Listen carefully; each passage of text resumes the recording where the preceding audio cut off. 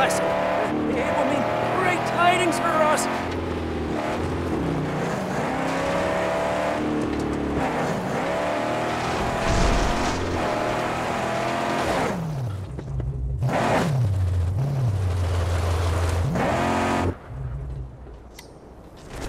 Oh, just leave me here then. I'll spend some quality time with my angel combustion.